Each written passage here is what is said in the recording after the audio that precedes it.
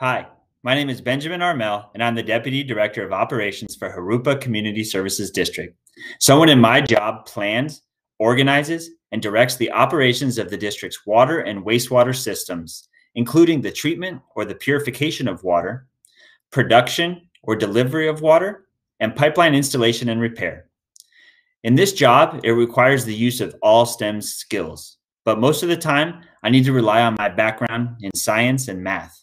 The utilities industry needs people with STEM skills to continue to ensure important resources like water can be treated and delivered to your homes.